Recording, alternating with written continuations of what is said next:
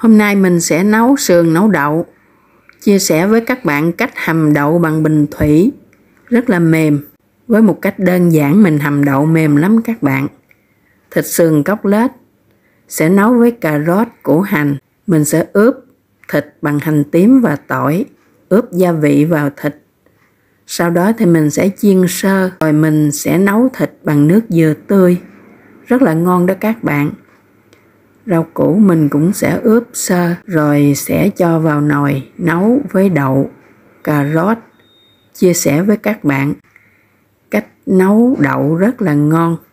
Chi tiết thì các bạn sẽ vào clip dài của mình, mình chia sẻ rất tỉ mỉ.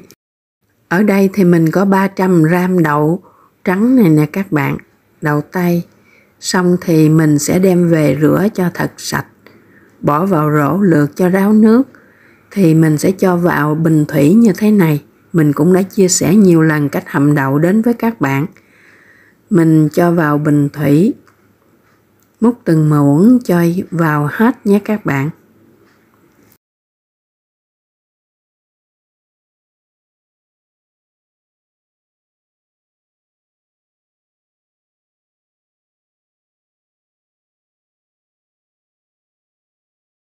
Xong thì mình bắt lên một ấm nước cho thật sôi. Mình sẽ đổ vào bình thủy như mình bỏ vào bảo quản nước nóng trong bình thủy vậy. Mình sẽ đổ đầy bình thủy, xong thì mình sẽ ngâm một đêm. Với cách này rất tiện lợi các bạn không mất thời gian. Sáng hôm sau thì các bạn sẽ đổ ra. Đổ như thế này, các bạn cho vào rổ lượt cho ráo nước.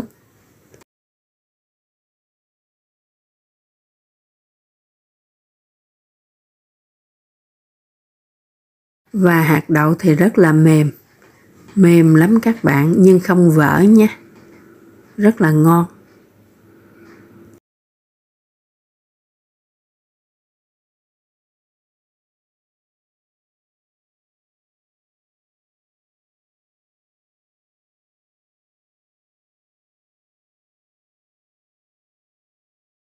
Mình sẽ để cho ráo nước rồi đi làm món.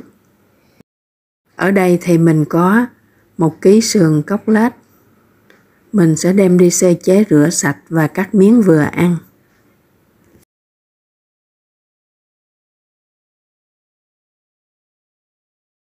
Sẽ có hai củ cà rốt và một củ hành trắng, một ít ngò rí,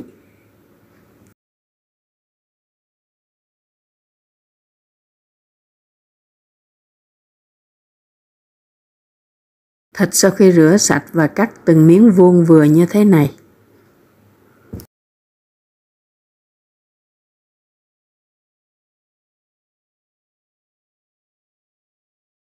Mình sẽ ướp gia vị, tỏi và củ hành mình đập dập chứ không bầm nhuyễn nhé các bạn.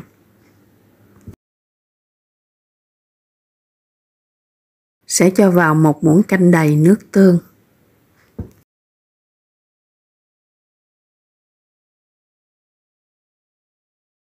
Một muỗng canh đầy nước mắm.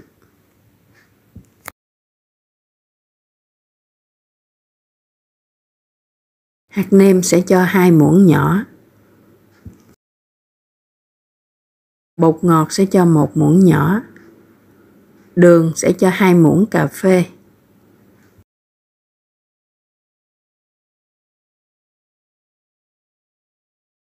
Sau đó sẽ trộn đều lên và để một lúc cho thấm gia vị.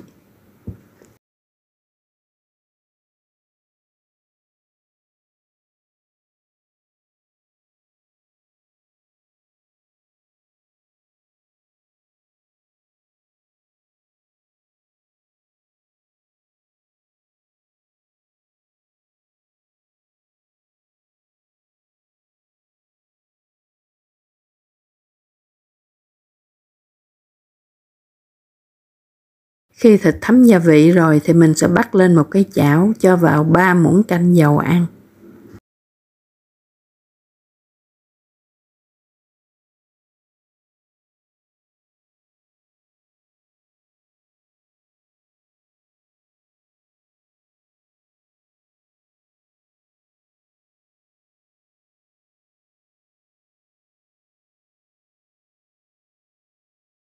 Dầu nóng thì mình sẽ cho thịt vào, mình vớt thịt lên nhé các bạn, đừng cho nước. Vớt thịt lên để mình chiên sơ.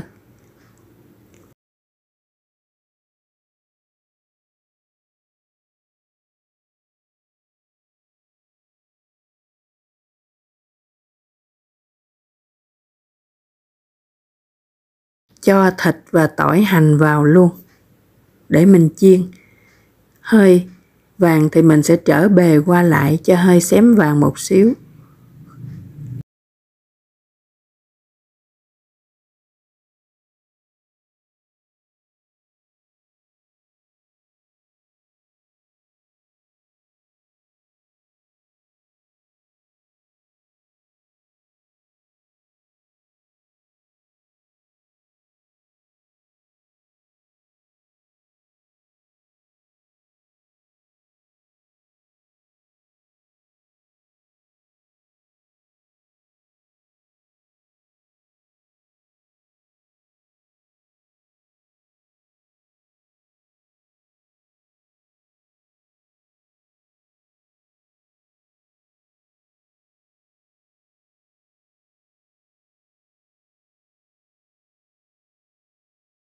Chiên sơ xong thì mình sẽ cho ra một cái nồi.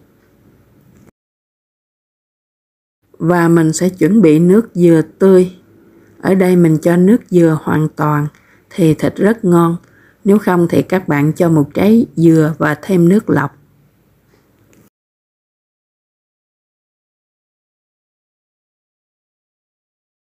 Mình sẽ cho nước dừa vào để tráng chảo. Rồi mình sẽ cho vào nồi để hầm thịt cho mềm.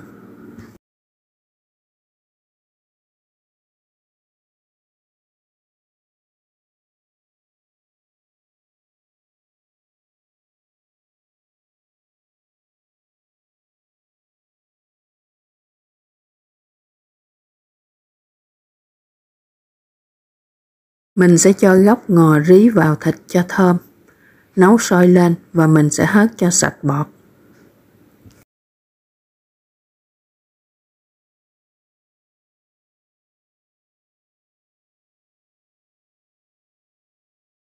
Hớt sạch bọt xong thì các bạn sẽ hầm thịt cho thật mềm.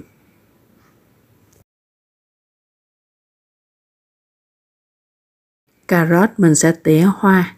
Những cái hoa như thế này rất là dễ thương. Mình đã chia sẻ cách tỉa hoa cà rốt đến với các bạn trong clip nấu bò kho các bạn nhé.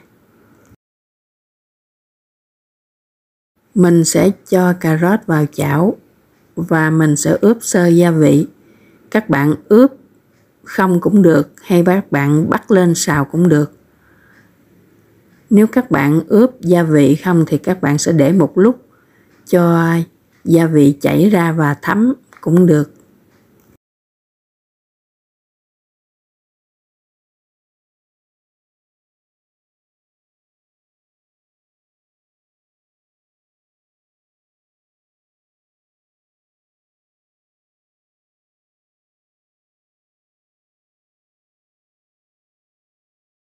Sẽ cho vào một muỗng nhỏ, một muỗng cà phê đường.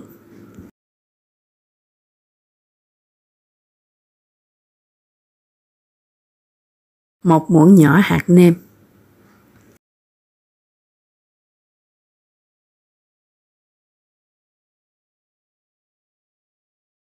Sẽ trộn đều lên, cho thấm gia vị vào cà rốt.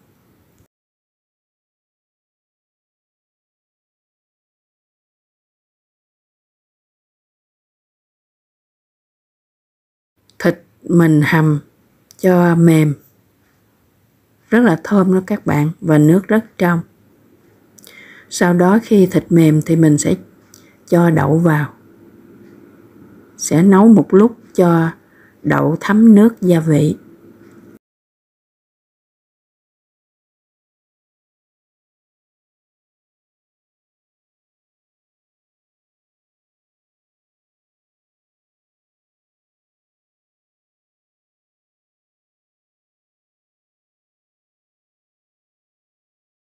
Sẽ cho cà rốt vào luôn.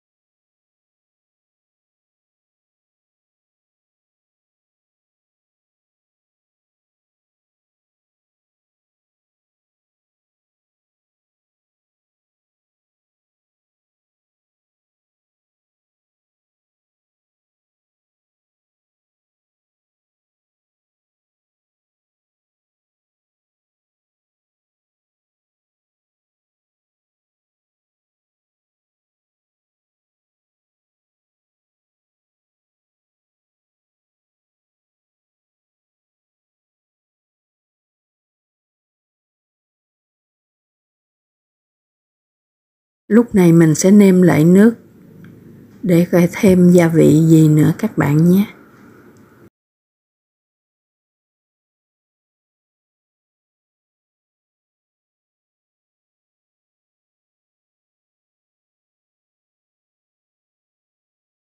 Giờ thì mình sẽ bắt đầu cho muối hạt, cho một muỗng nhỏ đầy muối hạt. Mình không cho sớm muối, vì cho sớm thịt sẽ lâu mềm. Mình sẽ cho muối khi nào thịt mềm các bạn nhé.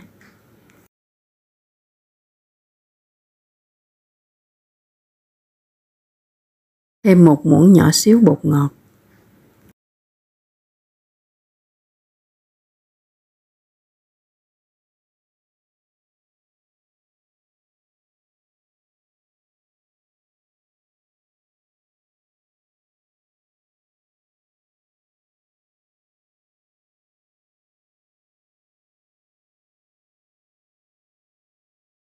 Những nguyên liệu đều đã mềm thì mình sẽ cho củ hành trắng vào sau cùng.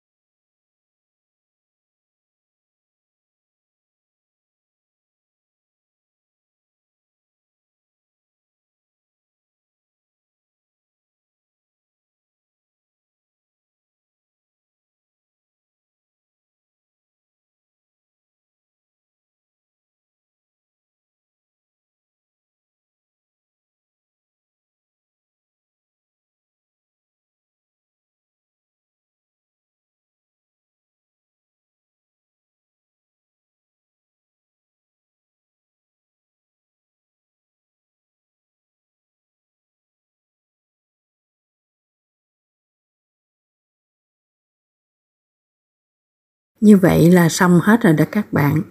Thịt nấu đậu rất là ngon và cách nấu đậu rất nhanh, chia sẻ đến với các bạn.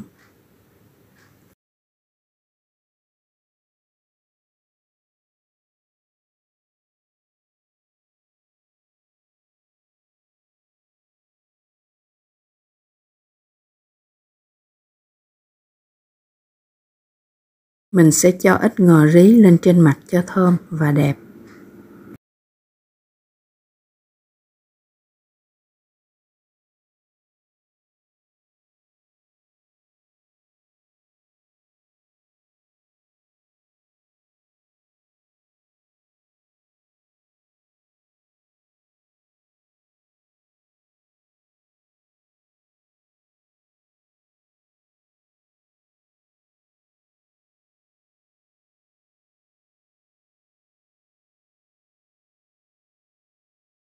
Mình sẽ dọn ra ăn.